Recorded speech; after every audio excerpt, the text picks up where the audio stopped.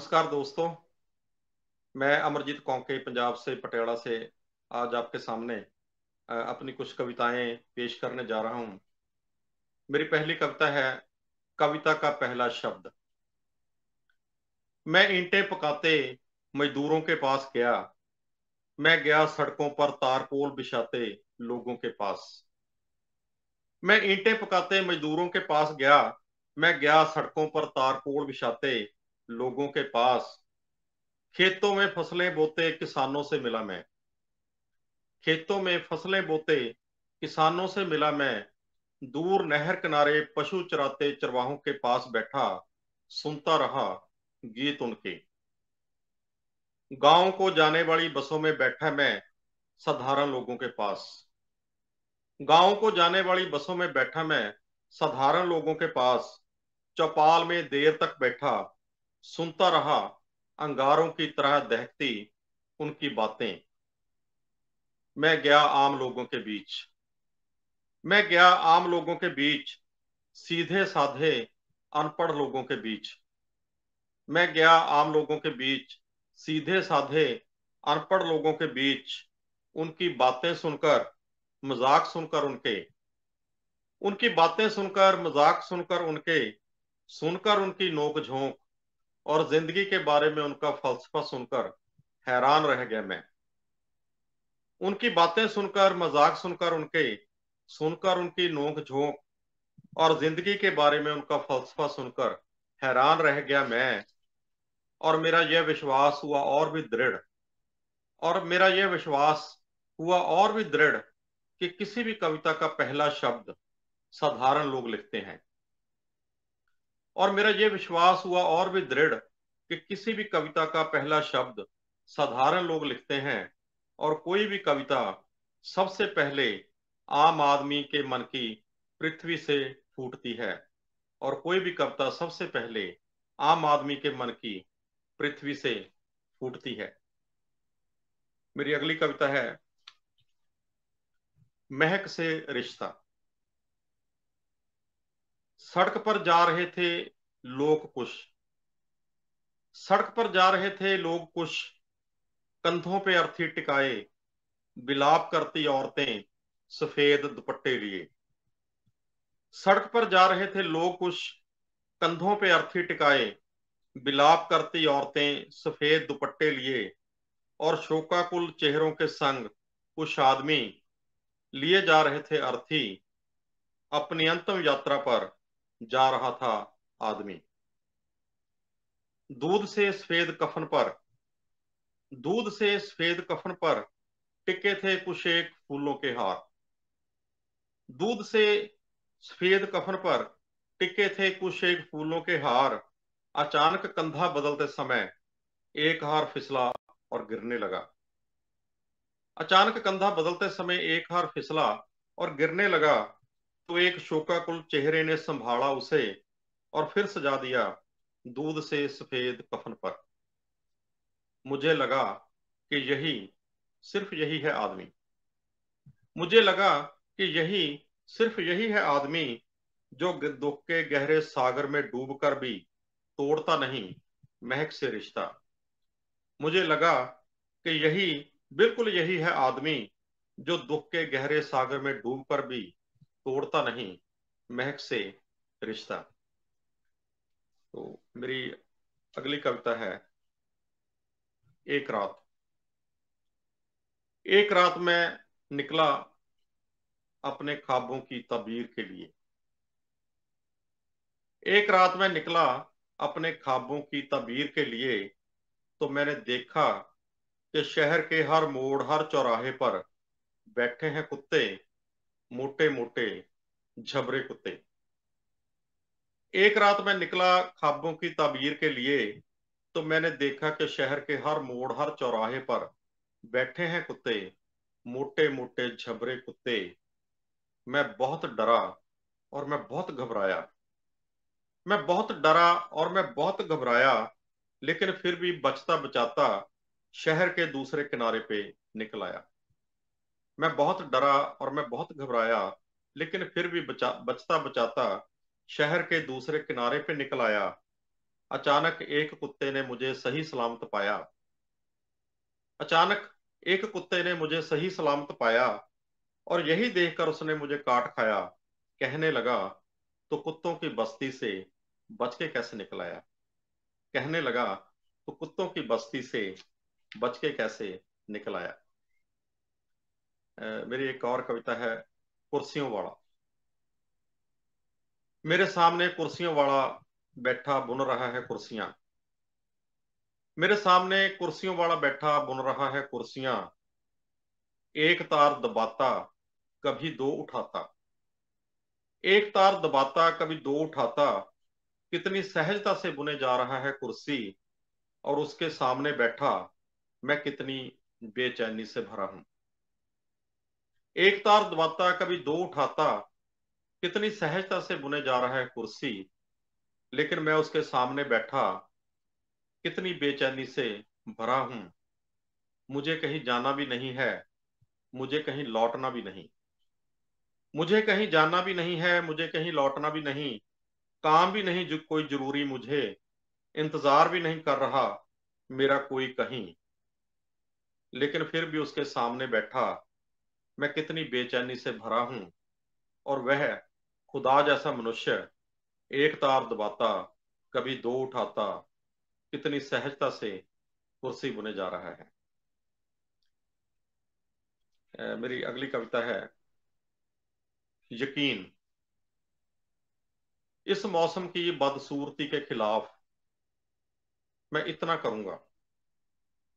इस मौसम की बदसूरती के खिलाफ मैं इतना करूँगा कि मैं उखाड़ कर फेंक दूँगा, गमलों में उगे तुम्हारे कैक्टस कि मैं उखाड़ कर फेंक दूँगा, गमलों में उगे तुम्हारे कैक्टस और बोऊँगा इस मिट्टी में सूरजमुखी के बीज। तुम देखोगे कि इसी मिट्टी में जहाँ उगे थे तुम्हारे कैक्टस वहीं उगेंगे सूरजमुखी जो इन अंधेरी रातों में देंगे। चेतना के बंद दरवाजों पर दस्तक। तुम देखोगे कि इसी मिट्टी में जहाँ उगे थे तुम्हारे कंटीले कैक्टस, वहीं उगेंगे सूरजमुखी, जो इन अंधेरी रातों में देंगे। चेतना के बंद दरवाजों पर दस्तक। इस मौसम की बदसूरती के खिलाफ मैं इतना करूँगा कि मैं अपने घर में पालूँगा एक कोयल। इस मौसम की बदसूरती के खिलाफ मैं इतना करूँगा कि मैं अपने घर में पालूँगा एक कोयल। जिसकी आवाज़ टकराएगी इन काली खबरों से, और यकीन है मुझे कि लौटेगी विजयी होकर। और यकीन है मुझे कि लौटेगी विजयी होकर इस मौसम की बदसूरती के खिलाफ मैं अपने बच्चों के होठों पर बंसरी और हाथों में पुस्तकें रखूँगा। मैं बस इतना करूँगा, मैं बस इतना करूँगा। इसी तरह की एक और कविता है कि मुट्ठी भर रोशनी। सब कुछ खत्म नहीं हुआ अभी। सब कुछ खत्म नहीं हुआ अभी। शेष है अब भी मुट्ठी भर रोशनी इस तमाम अंधेरे के बावजूद। सब कुछ खत्म नहीं हुआ अभी। शेष है अब भी मुट्ठी भर रोशनी इस तमाम अंधेरे के बावजूद। खेतों में अभी भी लहलहाती हैं फ़सलें। पृथ्वी की कोख अभी भी तैयार है। बीज को पौधा बनाने के लिए। खेतों में अभी भी लहलाती हैं, फ़सलें, पृथ्वी की कोख अभी भी तैयार है बीज को पौधा बनाने के लिए। किसानों के होठों पर अभी भी लोक गीतों की ध्वनियाँ नृत्य करती हैं। किसानों के होठों पर अभी भी लोक गीतों की ध्वनियाँ नृत्य करती हैं। फूलों में लगी है एक दूसरे से ज़्यादा सुगंधित होने की जिद।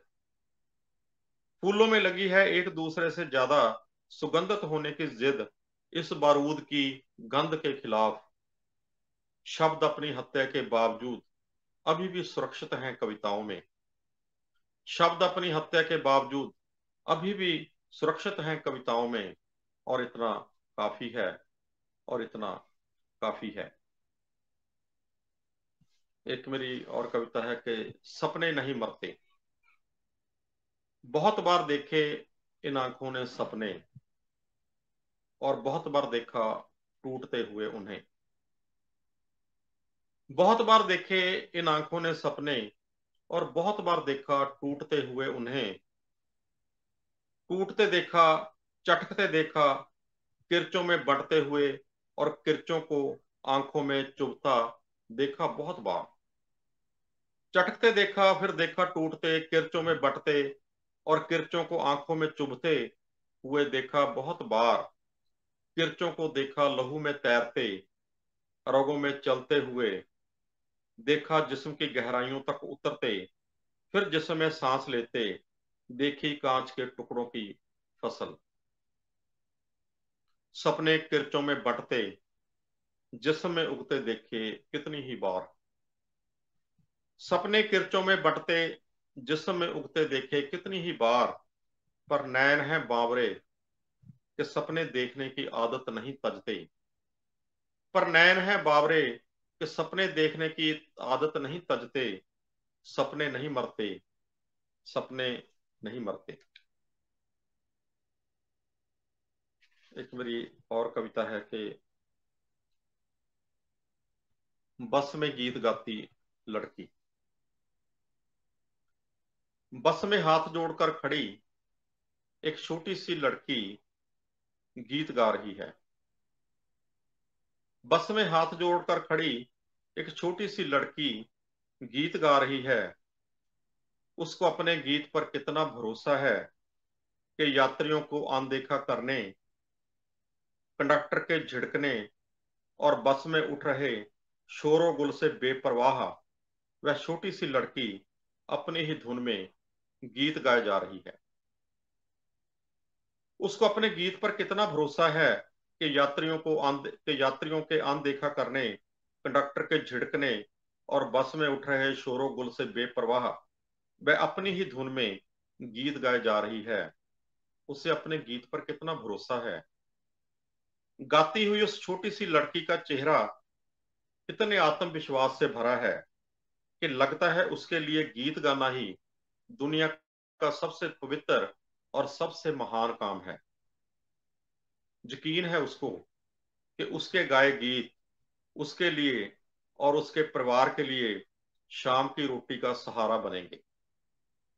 यकीन है उसको कि उसके गाए गीत, उसके लिए और उसके परिवार के लिए शाम की रोटी का सहारा बनेंगे।